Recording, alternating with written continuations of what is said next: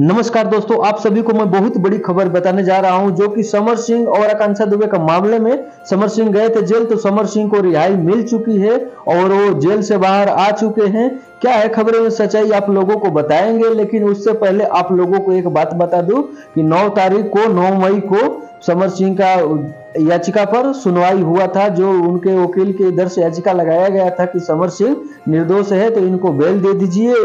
तो वो मामले में 9 तारीख को सुनवाई हुआ था। 9 तारीख को सुनवाई होने के बाद दोस्तों, आप लोगों को मैं बता दूँ कि जैसे ही कोर्ट का फैसला आया, जैसे आकांक्षा दुबे का वकील और समर सिंह का वकील दोनों जाने मौजूद थे कोर्ट में तो बहुत दोनों में बहस हुआ। बहस में क्या हुआ, वो आप लोगों को बताएँगे। तो आप लोग वीडियो में लास्ट तक बने रहे, आप लोगों को पूरी जानकारी दी जाएगी। और दोस्तों, वीडियो अच्छी लग रही है आपको, अगर इस वीडियो से कुछ आप लोगों को नॉलेज मिले तो वीडियो को लाइक कर दीजिए। और चैनल पर नए हैं तो चैनल को सब्सक्राइब कर लीजिए।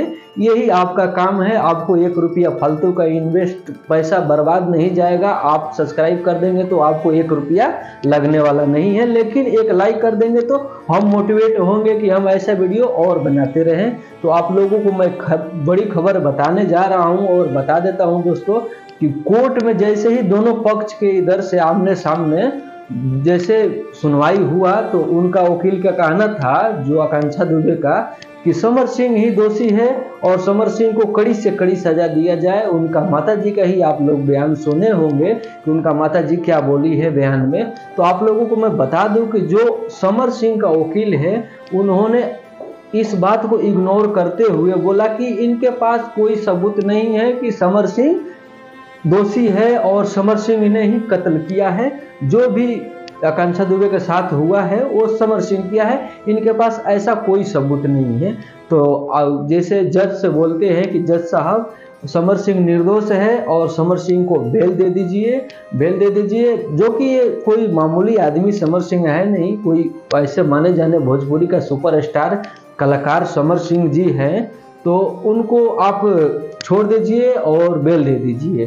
तो जज का फैसला क्या आया दोस्तों? आप लोग जानकर हैरान हो जाएँगे। जज जी का ये फैसला आया, जैसे आकांक्षा दुबे का वकील जज साहब बताते हैं कि देखिए, आपके पास ऐसा कोई ठोस सबूत नहीं है कि हम समर सिंह को कड़ी से कड़ी सजा दे। ऐसा करिए, आप और सबूत जो है वो लेके आइए। और अगला सुनवाई में आपका याचिका का सुनवाई होगा। तो समर सिंह को फाइनली दोस्तों उस दिन ही बेल मिल चुका है और समर सिंह आ गए हैं बाहर। आते ही अपने घर पर नहीं जाते हैं, कहीं बाहर यार दोस्तों को पास जाते हैं और वहाँ पर पार्टी साल्टी मनाते हैं, जो खुशी का माहौल है, भले ही आकांक्षा दुबे का जो फैंस है, वो बुरा भला कमेंट ना करे। जो बात है वो रियल है। तो आप अपनी राय कमेंट बॉक्स में ज़रूर दीजिए कैसे वीडियो लगी, वो भी लाइक करके आप बताइए और कमेंट करके बताइए। और चैनल पर नए हैं तो चैनल को सब्सक्राइब कर लीजिए।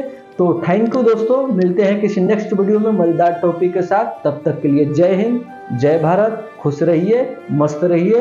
दोस्तों, ये वीडियो मैं बनाने का यही मेरा मकसद है कि आप लोगों को मैं कुछ जानकारी दूँ। हालाँकि ये दोस्तों बहुत तमाम न्यूज़ चैनल पर से और यूट्यूब पर से मैं जानकारी जुटाकर, हासिल कर कर आपके लिए छोटा सा एक प्रयास किया बताने का। तो ये वीडियो सही है या गलत है, इसका तो मेरे को ही पुष्टि नहीं है तो मैं कैसे पुष्टि करूँ? बाकी आप अपनी राय ज़रूर कमेंट में दीजिए।